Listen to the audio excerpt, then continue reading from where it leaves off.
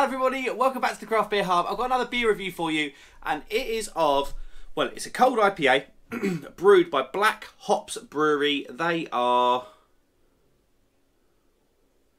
down in Queensland in Australia. I've had this beer a little while to be honest. Travis, Travis Wilson, you absolute legend, thank you mate. Travis sent it over in his first um, box, and I don't know. It's just sort of sat in my fridge. There's been yeah, just got no excuse for not really reviewing it. It's just sat in my fridge. Um, cold IPAs then. Um, they're basically, uh, in, in, in really simple terms, I'm not much of a brewer at all. I say I'm not much of a brewer. Never done it in my life.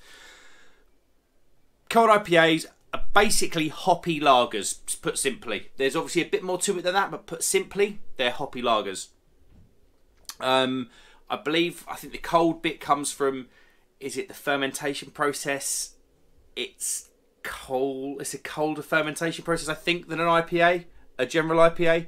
So what you end up with is a bit of a a bit of a lagered, fizzy, um, normally a lot clearer um, IPA. It's kind of a funny one, cold IPAs. It's kind of gone nuts this year. Um, like I said, I'm not much of a brewer. I don't really drink a lot of this style, so I'm a bit lost if I'm honest. um, the can wrap, um, it's well, the beer's called Cold Coast, and the can wrap kind of shows a tropical island in the middle of the sea. There we go. Never had a black hops beer. Quite excited for this. Let's grab a glass. What are we going to do? Let's grab this one. Uh, no, I'll tell you what. Let's grab this one. I'm going to do another review in a minute, so I'm just trying to think about what beer's going to be better in what glass. Let's get this open then, if I can, because I bite my nails.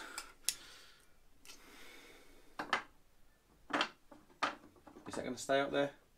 Thank you. Boom. There we go. Lovely smoky can opening. This is quite a cold beer. I haven't had this out for long at all, if I'm honest. Um, this beer's out been out the fridge for about three or four minutes. Because, um, like I say, these beer these beers generally um, do a little bit better for um, being served nice and cold. There we go. Boom. What have we got? A lovely, I mean, super carbonated beer hazy straw colour beer, almost like quite a vibrant straw, really light straw coloured beer. Half a finger white head. Looks alright to be fair. Let's bang on the money. That, that haze to it's absolutely beautiful. Let's get an aroma then. Oh, lovely sweet tangerine.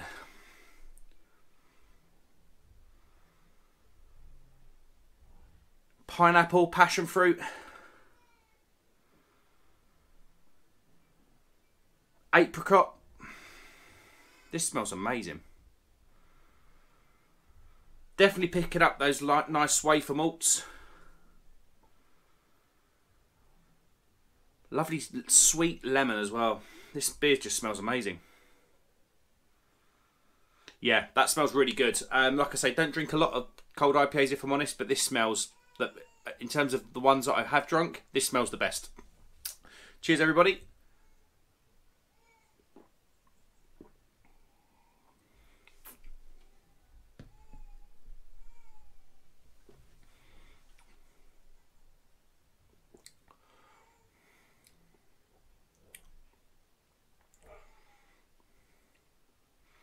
Yeah, that's really refreshing. Really easy drinking. What was the ABV? Five something? Five eight in a three seven five can. Super refreshing. Lovely malty biscuit. Well, not biscuity. That's the wrong word. It's kind of a cross between biscuit and wafer malts, and also nice grass, sort of the grassy earthiness up front, which keeps the beer really fresh.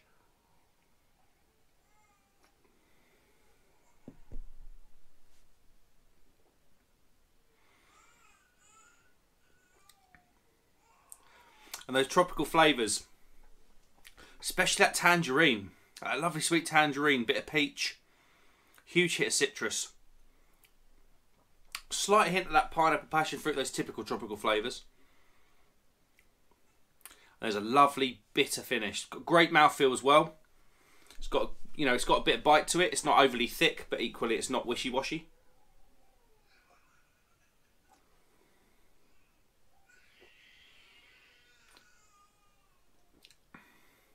That is.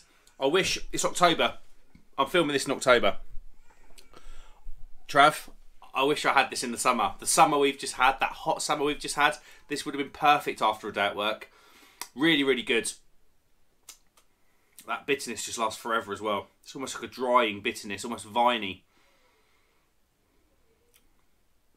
Yeah, that's good. Let's have a look at the can then. um, where are they from? Biggera Waters in Queensland, wherever that might be. Queensland, that sort of northeastern side of Australia. Brisbane, think sort of around Brisbane. Bringing together a vibrant collection of clean hot flavours with a crisp, cold fermented body. Yeah, that's what I mean. Yeah, the fermentation process is cold. Yeah. Um, cold Coast is a little bit of the unexpected whilst being comfort- comfortably familiar at the same time. it's, it's really wordy that, but I do kind of get what they mean. Um, it's a little bit of the unexpected. That tangerine and peach, those flavours are lovely, but it's com- comfortably familiar at the same time. and it really is because it's just nice, refreshing, light, proper summer beer. This, and I'm drinking it in October, but proper summer beer.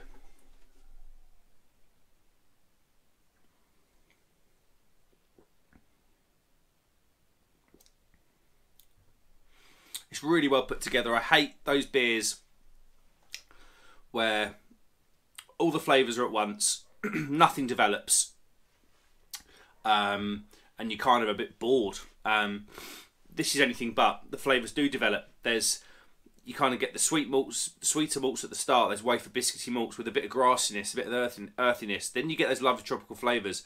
Then it leaves you with a really drying bitterness, almost a viney bitterness and yeah, that's really quite nice. Um, whereas some of these cold IPAs that I've had, I think the reason I don't really buy them is I'm not really that been impressed with, been that impressed with them. You know, I either want a hoppy pale ale or I want a lager, and they can't. A lot of them just don't do either. Whereas this actually does do both. It's it's it's light, it's clean, it's refreshing, uh, like all lagers should be. But then there is that there is that kind of hoppy tropical ta- tangerine and peach in the middle that really keeps things interesting. I quite like it. And that bitterness is lovely. Absolutely lovely. How would I rate it then? Well, I don't drink a lot of cold IPAs. It's not really a style that I enjoy drinking. Having said that, this has been quite this has been a pretty enjoyable drinking experience. Um, I am going to give that a three and a half out of five. I really quite like that probably would have been better in the summer. But yeah, thanks again for Travis. To Travis, I know you watch my videos, mate. Um, thank you very much uh, for sending it in. Um, and yeah, sorry it's taken me half a century to get around to it. Thanks very much for watching, guys. Like and subscribe if you would be so kind. And cold IPAs, are they your thing? Like I say, not really for me, but that beer, it's kind of changed my mind a little bit. Thanks very much for watching, guys. I'll see you on the next one.